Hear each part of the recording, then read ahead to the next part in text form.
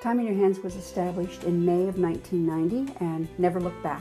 Here at our clinic, we do several different treatments. We do facials, manicures, pedicures, and massage.